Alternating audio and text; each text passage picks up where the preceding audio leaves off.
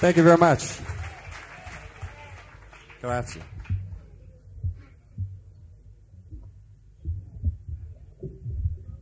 Glad to see you all here. It's a very beautiful night, and uh, the sound feels good, and everything feels very nice.